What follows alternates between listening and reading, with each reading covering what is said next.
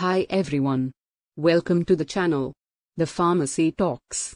Today in this lecture we are going to discuss about the types of calcium oxalate crystals and the easy tricks and mnemonics to remember them. So before starting this video, please subscribe to our channel and press the bell icon to turn on notifications. Let's start today's topic. Firstly we'll discuss about the cluster crystals. The trick to remember the secondary metabolites of this type is Rusi senna farsi between cluster. It includes rhubarb, clove, senna, punarnava, hyoscyamus, ailanthus glandulosa, which is adulteration of belladonna, and stramonium. Now let's talk about the other type of calcium oxalate crystals which is needle-shaped crystals.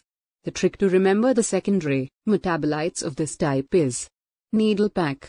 It includes Phytolacca americana which is adulteration of belladonna, aloe, and camphorica. Let's move on and talk about the other type which is prismatic crystals. The trick to remember the secondary metabolites of this type is KL Rahul become wild when he saw three cute girls. It includes Kurchi, licorice, rauwolfia, wild, cherry, hyoscyamus, senna, stramonium, cascara, cardamom, coriander, and glycyrrhizinic acid. Next type of calcium oxalate crystals is rosette crystals. The trick to remember the secondary metabolites of this type is coffeine.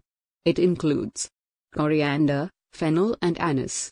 All the umbelliferous fruits also belong to rosette type of calcium oxalate crystals. Last but not the least type is acicular crystals. It is further classified into two types. These are single and cluster. Let's first talk about the trick to remember single acicular crystals. The trick is single CBI in Germany.